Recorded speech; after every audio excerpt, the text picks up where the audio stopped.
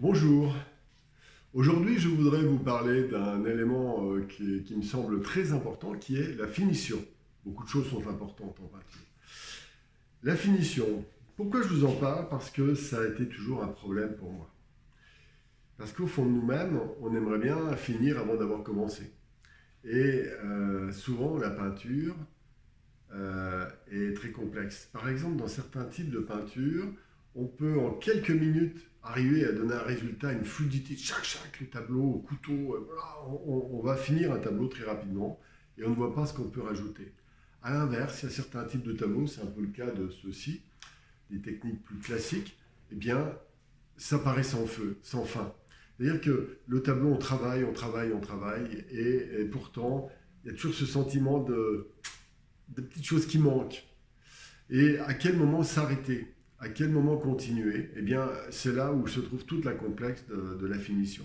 Et pourtant, c'est là que se trouve tout l'intérêt du tableau, parce que finalement, c'est la couche de la fin qu'on voit, euh, que le spectateur voit. Hein, c'est pas moins les couches profondes euh, qui ont permis d'élaborer le tableau.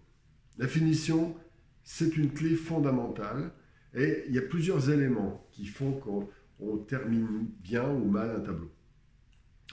Premièrement, je, me permets une petite réflexion. Je dirais que c'est un point de vue personnel, mais vous pouvez bien sûr ne pas être d'accord. Euh, il y a d'abord ce que j'appelle la hiérarchie de la finition. Si vous finissez tout un tableau partout de la même manière, votre tableau va être lourd. Par exemple, si, si je fais la même euh, ici aussi nette que là, que là, que là, que là, eh bien, il y aura tellement d'éléments que le tableau sera vraiment fatigué et euh, n'offrira pas un grand intérêt. Parce qu'en fait, la finition doit être plus un élément qui nous guide, qui guide l'œil du spectateur vers un certain cheminement. Et les vides et les autres parties qui sont moins terminées permettent au regard du spectateur de s'emparer du tableau et de le revisiter d'une certaine manière. Donc la première étape, c'est la, la, finition, la hiérarchie des finitions. C'est très très très important. Ensuite, il y a d'autres types de finitions qui ne peuvent pas passer par simplement l'exécution technique. Si vous ne passez pas par la case méditative, j'ai envie de dire, si vous ne regardez pas votre tableau, si vous ne parlez pas avec, si vous ne laissez pas venir, si s'il n'y a pas une, force tactile, une espèce de, de vibration qui vous relie à ce tableau, vous n'arriverez pas à restituer l'ambiance, euh, euh, comment dire, euh, profonde du tableau. Celle que vous voulez mettre, mais aussi celle que vous mettez malgré vous. On pourrait dire que le tableau se fait à travers vous, c'est pas vous qui le faites forcément, ou un petit peu des deux. Ça, c'est très important. Donc, euh, c'est vraiment fondamental de,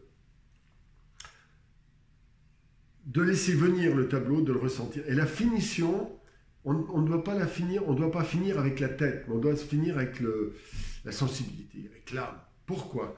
Parce que cette finition, c'est ce qui va permettre de gérer un certain nombre d'équilibres. Un petit équilibre de couleurs, un petit réglage de couleurs. Au début, on met, oh, plein de couleurs, de, de dessins, des, des, des, des, valeurs, des couleurs, etc. Puis après, on affine, et puis après, on règle. Eh bien, la finition, c'est le réglage. Et ce réglage est très important pour une raison euh, fondamentale, c'est que ce réglage, c'est ce qui va permettre de mettre la justesse à peu près partout. La justesse dans les valeurs, la rectification d'un élément de dessin, un apport de quelques petits éléments de dessin. Ensuite, par des glacis, par des petits voiles, par des petites touches, par tout ce que vous voulez, des choses qu'on verra au fur et à mesure. Il y a plein de techniques euh, pour compléter et finir le, le, tableau. Et ces petits réglages de rien, mine de rien, c'est ça qui fait toute la différence. Je prends dans l'exemple du golf que je prends souvent dans mes vidéos, euh, vous êtes à un mètre du trou, euh, si vous tapez à côté, bah, ma foi, ça fait un point de plus, et vous, perdez le tournoi quelque part, les 10 derniers, 20 derniers centimètres sont aussi importants que le coup du début pour le golfeur. Eh bien, ces petits éléments de finition euh, sont déterminants pour la qualité du tableau. En fait, c'est ce qui apporte euh, finalement la lumière. Mais pas seulement la lumière d'un point de vue technique. Parce que ce qui apporte la lumière dans un tableau, ce n'est pas le contraste. On dit, ah, pour que le blanc, ah, je vais mettre du noir à côté noir et blanc. En fait, souvent, vous regarderez qu'il peut y avoir de la lumière avec des très forts contrastes de valeur. Prenez la, la, photographie noir et blanc, donne une impression de lumière très importante. Évidemment, par définition, il n'y a pas de couleur. Donc en fait, la lumière peut apparaître avec un très fort contraste, mais à l'inverse, on peut avoir des impressions de luminosité très très fortes avec des contrastes très faibles.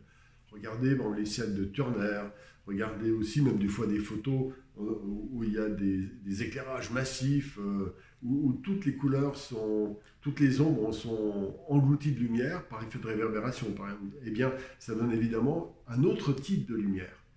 La lumière, ce n'est pas un élément technique, c'est l'équilibre et la justesse existant entre tous les éléments qui sont présents euh, dans, le tableau. Voilà pourquoi ça, ça ne peut pas s'aborder simplement en disant ah juste comme ci, comme ça. Et surtout, surtout, la finition, quand vous faites la finition, éliminez ou quasiment les documents qui auraient pu vous servir à le faire. On peut s'en servir de temps en temps, des documents, mais très peu parce que sinon vous allez finir le tableau en copiant la photo, la, photocopie quelque part. Vous deviendrez un, photocopieur de, photos. Il faut faire très très attention à ça. La finition doit nous écarter de la réalité pour montrer une autre réalité. Donc la finition est un élément euh, très intéressant. Vous pouvez exagérer un peu certaines couleurs, mais euh, ça va être pris à l'intérieur déjà d'une structure qui était bien mise en place. Hein, c'est la dernière étape, bien entendu. Voilà ce que je pouvais dire euh, sur la finition. Je vous invite à, être méditatif, à, y penser. Euh, et c'est très intéressant. Alors, je vais vous montrer quelques, quelques éléments. Vous voyez, par exemple, ce tableau n'est pas fini. Eh bien, il faut que je détermine. Alors, ça paraît très anecdotique, mais tant que cette zone-là ne sera pas très forte, parce que j'avais pensé faire une entrée par ici, en fait. On va par ici, puis on glisse vers les lointains et on revient par là. Voilà, c'est un peu mon chemin de, euh, qui était prévu. Donc c'est la finition impeccable de cette zone-là, de manière assez hyper réaliste, en instituant un peu les couleurs qui va me permettre de faire ça. Euh, et par contre, je vais laisser des zones comme ça, euh, qui sont pas du tout finies, c'est des effets de matière tels qu'il y en avait dès le début de la toile, et que j'ai recouvert progressivement dans ma technique. Voilà, c'est une manière de travailler. J'enlève celui-ci. Maintenant, Alors ce tableau, euh, bon, le visage ne me plaît pas. Il faut que je le finisse, mais il ne faut pas que j'en fasse une poupée. C'est toute la difficulté. Des fois, finir, ça veut dire non pas augmenter la quantité de détails, mais simplement garder la fraîcheur d'un ton, d'une peau, l'expression d'un regard. Et des fois, c'est juste par des petites touches. La finition, ça peut être 10 touches en, une heure. Mais quelle touche? Parce que vous l'aurez vraiment intégré. Voilà tout le problème. Alors ici, par vous voyez, ici, ces arbres, ils étaient comme ça. J'ai voulu les faire rouges pour les relier, etc. Pendant la finition, il y a un travail de ping-pong qui se passe, c'est-à-dire que le tableau parle, on peut faire évoluer. Alors il y a des détails qui vont, qui vont apparaître. Je vais augmenter les détails ici, par exemple. Je vais, euh, le, le, personnage est à peu près en place, mais il y a des petits réglages pour l'expression. Il y a des finitions, mais des zones qui doivent au contraire plutôt disparaître. Voilà, donc c'est ça qui est intéressant. Alors, je vous en montre un autre.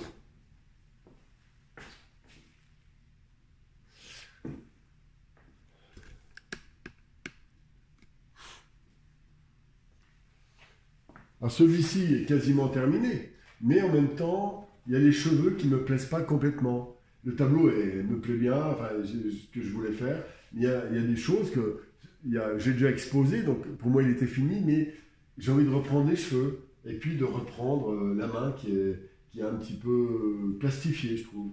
Et puis faire des petits réglages de glacis, des petits voiles, etc. Mais des choses microscopiques. Un peu, euh, je, prends l'exemple sans me comparer, bien entendu. Euh, Léonard de Vinci a travaillé la Joconde pendant des 10-15 ans, je crois. chaque fois, il reprenait des petits détails, etc. Et, et j'aime bien cette idée dans la finition. Alors, par tempérament, je serais plus dans la logique des gens qui peignent avec euh, précision. Et euh, mes maîtres, c'est, euh, on va dire, Vermeer. On ne lui connaît que 22 tableaux, mais quel tableau? Et c'est pour cette raison que, bon, bah, je, suis cette voie. Et actuellement, je fais peu de nouveaux tableaux, mais tous les tableaux que j'ai faits, je les reprends jusqu'à ce qu'ils soient le plus impeccables possible.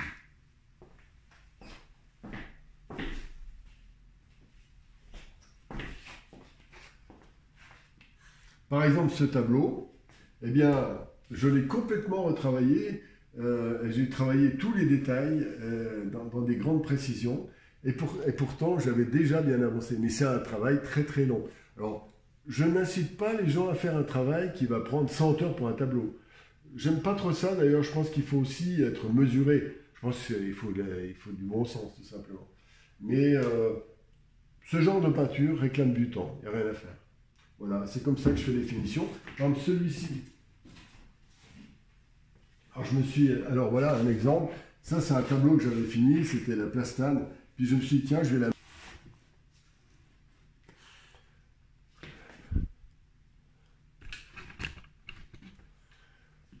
Alors je me suis dit, euh, je vais la mettre sous l'eau, puis je me suis amusé presque sans me prendre la tête. Et puis, euh, de fil en aiguille, j'avais fait tout. Et puis là, hier, avant-hier, j'ai repris cette zone-là, j'ai monté d'un cran dans les valeurs pour, donner un effet de lumière très fort. Voilà. Et, puis je vais rééquilibrer maintenant par rapport à... Alors que ça faisait des mois qu'il était euh, quasiment terminé. Voilà, tous mes tableaux, je les reprends de cette manière. Et ça, c'est une finition. Mais là, c'est une finition un petit peu C'est une finition un petit peu pinailleuse, mais bon, euh, faites-le à votre goût, mais pensez à ça. Surtout, c'est vous qui devez, par rapport à vous-même, le finir, le tableau. Hiérarchiser, hein, très fini, moyennement fini et peu fini. Hein, c'est important aussi pour guider le spectateur. Et puis, finalement, faites ce qui vous plaît. Euh, les couleurs, quand vous allez mettre une couleur, travaillez là sur la palette. Ah, un peu comme vous choisiriez d'ailleurs une couleur pour une porte, vous dire, ah, celui-là, ah, c'est trop foncé, trop rouge, trop ceci, trop cela.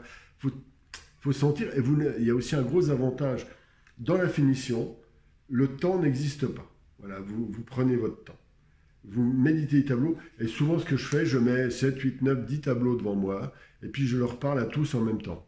Et curieusement, inconsciemment, ça nourrit un imaginaire, et au moment où je retravaille le tableau, je sais ce qui manque. Voilà. Bon, c'est à vous.